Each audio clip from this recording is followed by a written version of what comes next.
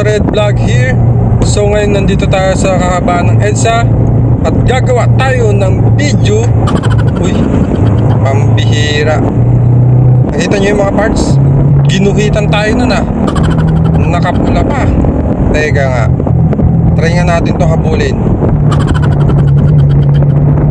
Habulin natin to mga parts. Pambihira. Ayoko talaga ng ginuguhitan ako eh. Yari to sa akin ngayon. Sigurado sibak sa akin sa Raider 150 natin mga parts. Nasaan na yun? Nasaan na kaya yun?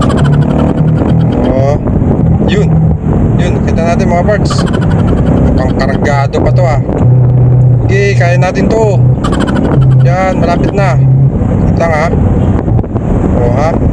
Konti na lang. Mahabol na natin to mga parts. Ayaw na ayaw ko talaga ng ginuguhitan ako dito sa daan eh. Ah, right. Na. Ah, naka-inmax at may backride ka pa. ah. Teka lang. Wala to. Panis to sa atin mga parts. Lang ha. Saan na siya? Ooh! Yeah! Alright.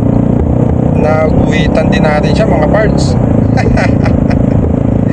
Alright mga parts.